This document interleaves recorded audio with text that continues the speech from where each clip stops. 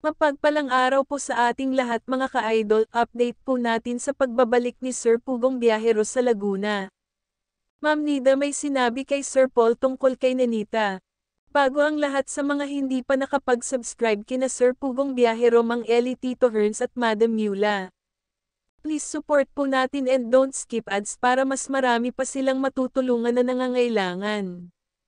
Ma'am Nida may sinabi tungkol kay Nanita sa muling pagbabalik ni Sir Paul sa Laguna kinumusta nga ni Sir Paul si Nanita at Mylene masaya nga si Mylene at Nanita sa muling pagkikita nilang mag-aama dahil nga sa tinuturing nga ni Sir Paul na anak ang dalawang bata. At kinausap nga ni Sir Paul si Ma'am Nida at kinumusta ang dalawang anak. Sabi nga ni Ma'am Nida kay Sir Paul na si Nenita ay nakikipag-participate na rin subalit hindi pa rin nawawala ang kanyang pagkamahiyain. At si Mylene ay madaling natuto sa mga itinuturo sa kanya. Napakaswerte talaga nila Mylene at Nanita dahil nandyan ang mga PB team at may mga mabubuting puso na sponsors na nagmamahal kina Mylene at Nanita. At sa muling ang pagpunta ni Sir Paul sa Manila ay binigyan din niya sila Mylene at Nanita ng pera para may pangbaon sila. At sabi nga nila Mylene at Nanita na may ipon na rin sila sa kanilang piggy bank.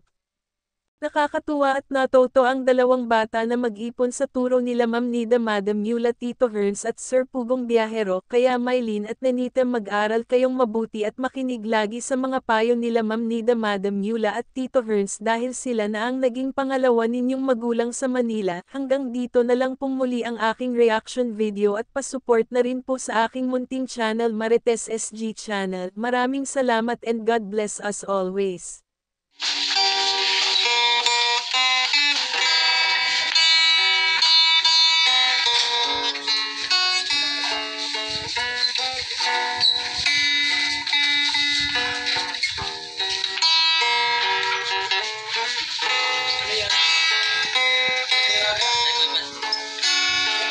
Salamat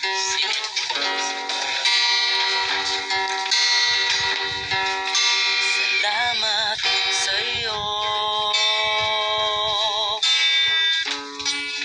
Aking Panginoong Jesus